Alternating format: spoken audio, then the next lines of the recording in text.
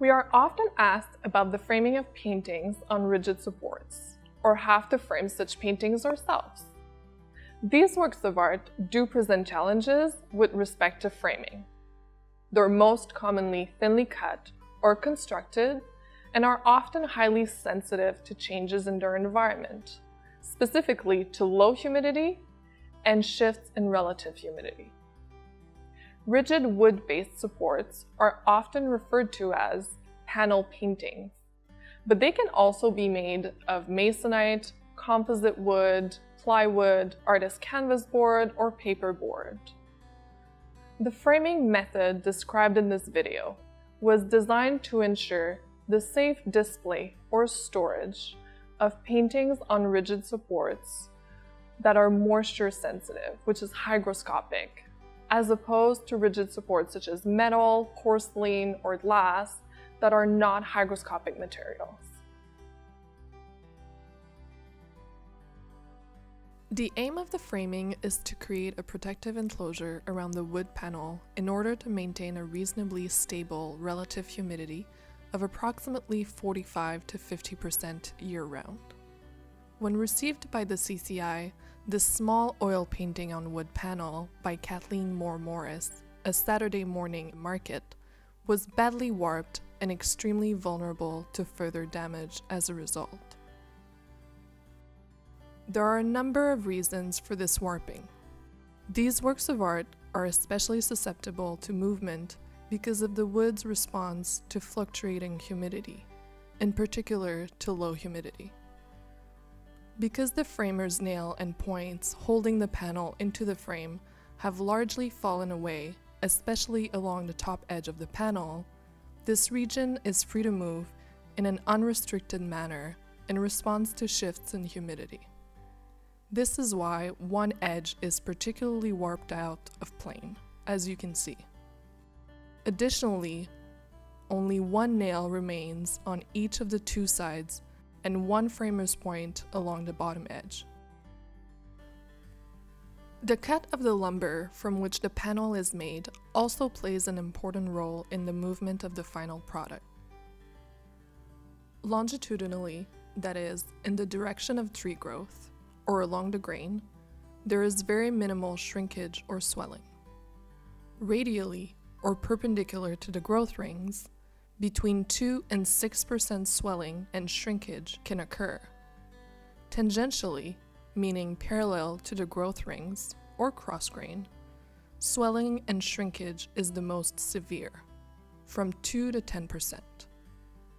The vertical axis of this panel painting is in the tangential or cross grain direction, so we can expect warping to occur in the vertical axis of the panel. If one of the panel surfaces is sealed by a ground layer and then painted, that side of the panel will be slower to respond to humidity changes. In this case, the painted surface is face down. The unsealed or unpainted surface will absorb and lose moisture much faster, and movement on this side will be exaggerated in comparison to the sealed surface. Warps result when the humidity is low. As the wood of the unpainted side loses moisture, the wood cells shrink, and the panel takes on a curved or convex warp. Even if the panel is later exposed to higher humidity, the warp will never completely disappear. A warped panel cannot easily be framed. In some cases, special custom frames can be designed to follow the warp. Otherwise, in the case of thin cut panels, the warp can be reduced prior to framing. This must be done by a conservation professional. The panel painting by Kathleen Moir Morris was treated at the CCI Fine Arts Laboratories, and the warp largely removed. This panel was removed from its frame and has undergone specialized treatment to flatten the curvatures under controlled conditions. The only guarantee that this painting has of staying flat is to remain exposed to the relative humidity at which it was conditioned, which is 47 to 50%. One of the most achievable means of ensuring that the painting remains in a stable environment is to secure the panel in the sealed case provided by the frame. The frame is important to a work of art in many respects aesthetically, historically, and in terms of physical protection and support. Frames should therefore be preserved and maintained together with the work of art for which they were built. Using a frame as a sealed case will, in most instances, require some modification to the back of the frame. It is of the utmost importance to ensure that the modifications to the frame do not cover important items, such as inscriptions and labels. If such items are present, they must be removed and placed elsewhere on the frame or photographed, or both. In the case of inscriptions that cannot be removed, any material placed over these must not be secured using glue or screws. In this case, only one small label on the back of the frame required relocation. Labels on the back of the panel itself were removed during the treatment of the panel and replaced in situ after treatment. This procedure is moderately complicated and requires the use of measuring tools, cutting tools, and drills as well as wood, plexiglass, and other material supplies. Begin by examining the frame. Ensure that the surface finish is in good condition, as some handling of the frame during its modification will be required. Also check to make sure that the corners of the frame are tight and secure. Check that the frame rebate is not cracked and is level. This image shows the rebate in reference to other frame elements. Gluing may be required to stabilize the rebate area, and a wood filler to achieve a level surface. This is necessary in order to ensure that the glazing layer sits evenly in the rebate. Before proceeding further, check to make sure that the glazing fits properly in the frame rebate. It should not be a tight fit. The glazing can be glass or acrylic. Acrylic has the advantages of weighing less than glass and being unbreakable. In this case, a 1 8 of an inch thick, UV absorbing, non glare acrylic sheet was chosen. One disadvantage of acrylic sheeting is flexing. However, given the small surface area this painting represents, flexing should not be an issue. Never glue the glazing into the rebate as this would cause glass, in particular, to break as the wood undergoes small dimensional changes in response to changes in relative humidity. Once it is confirmed that the glazing fits properly, set this aside.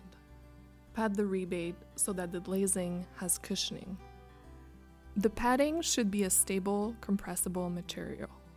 In this case, black felt was used, cut to the width of the rebate and attached to the rebate using 3M double-sided tape. With the glazing in place, the padding provides a good seal at the opening of the frame. Although the case is not hermetically sealed, short-term humidity changes, such as those between day and night, should not have an effect.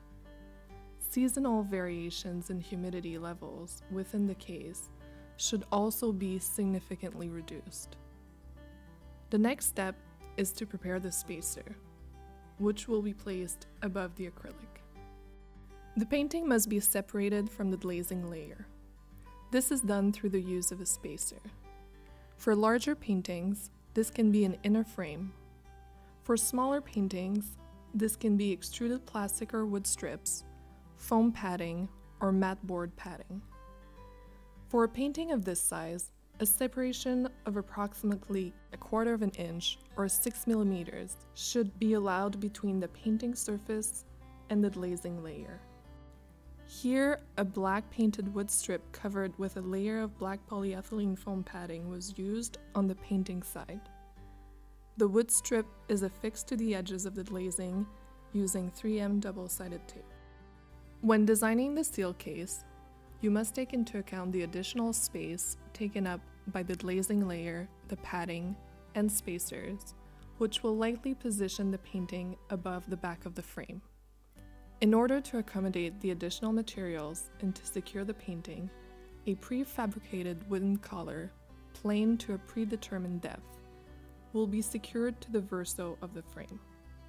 Given the presence of a small inner fillet that stands proud of the back of the frame, a narrow lip of wood with a square profile was pre-glued to the inside upper edge of the wood collar. The slip lies above the inner fillet and defines the space in which the panel sits.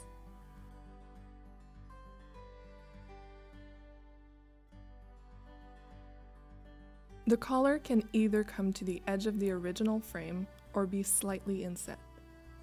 Set up the wood collar elements on the frame verso to ensure that they are the right length and that the corners match. The wood collar will define the placement of the panel painting. The wood pieces forming the collar are ready to be glued at the corners and then clamped together for drying. Start by gluing opposite corners before gluing the two remaining corners. The glue used here is a PVA emulsion or white glue.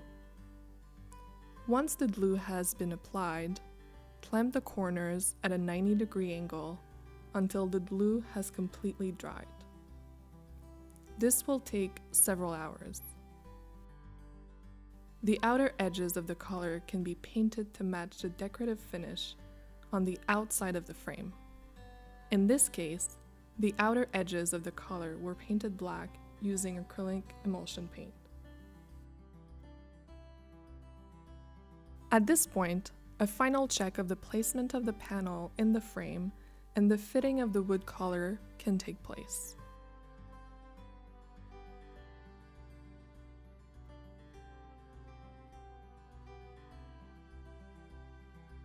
On the whitest surface of the wood collar, a layer of Marvelseal has been applied. This is a thin, metallicized, heat-set material that provides a vapor barrier. Metallicized contact adhesive tape can also be used for this purpose and applied to one or all exposed wood surfaces. A pre-drilled backing sheet of Lexan plastic is used as a guide for the placement of drill holes through the wood collar. The marked holes are now drilled through the wood collar. Holes can also be drilled into the frame verso using the collar as a guide. Always choose the thickest possible part of the frame for placing the screws, keeping in mind that the end of the screw should never be closer than 3 eighths of an inch from the face of the frame. Now the collar can be glued, glued and screwed, or simply screwed onto the back of the frame. If the verso of the frame is uneven, or if there are inscriptions, gluing is not possible.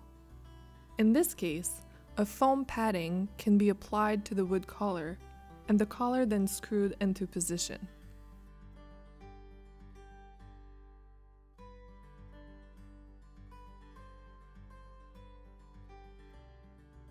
Before the painting is placed into the frame, ensure that no dust or other debris is trapped on or around the plexiglass.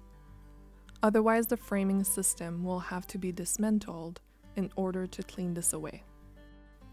One of the easiest ways is to use a can of compressed air. This prevents any potential scratching of the plexiglass. Once all is clear, place the painting on the padding above the glazing layer.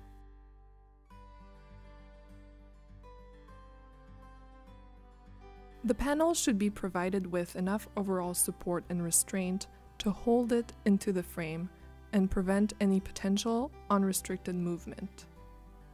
Originally, the panel was held into the frame with nails and framers points placed around the perimeter. We have chosen to secure the panel with means of gentle overall compression. Acid-free mat board is cut to fit over the panel and is squeezed between the Lexan backing and panel painting. The mat board provides a good spacer and also allows for the passage of moisture, to prevent potentially differential humidity zones in the sealed case. The mat board is cut to leave an opening for the labels, which were affixed to the back of the panel. Many frames and paintings have labels indicating the title, the names and date of exhibitions, and the name of the artist or owner. Labels provide critical information as to the history and provenance of the work of art and should therefore be preserved and kept visible. A small humidity test strip has been inserted into the backing mat under the Lexan and will monitor the internal relative humidity on a permanent basis. In order to seal the case and hold the panel into position, a quarter of an inch sheet of Lexan was chosen. This is a very rigid backing of polycarbonate which will resist breaking and help prevent moisture loss through the back of the case. Its transparency makes it possible to see inside the framing.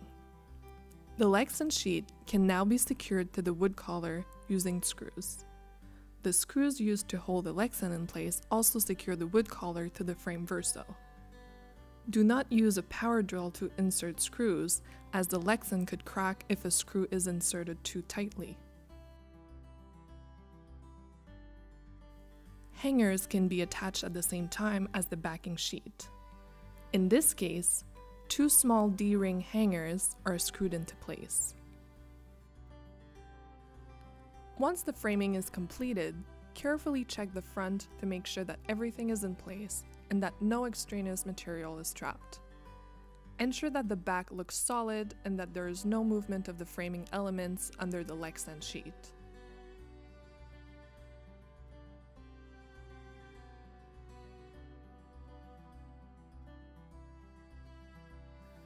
The painting can now be displayed, transported, or stored safely. This method of framing will protect the painting against short term daily fluctuations in relative humidity, such as between night and day, and should also mitigate against longer term seasonal humidity shifts. Over the dry winter months, the interior relative humidity may gradually drop from 50% to 40%. However, as this drop is very gradual and the painting is well restrained, there should be little to no movement in the panel. When the ambient relative humidity rises during the summer months, the internal relative humidity will slowly rebound to return the internal humidity to the desired level. For more information on framing paintings, be sure to check out CCI Note 10.8 on our website.